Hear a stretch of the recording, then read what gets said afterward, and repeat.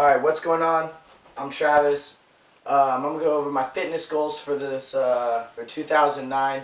Um, keep it pretty simple. Uh, fitness goals number one, main thing is to make sure I'm going to the gym at least five times every week.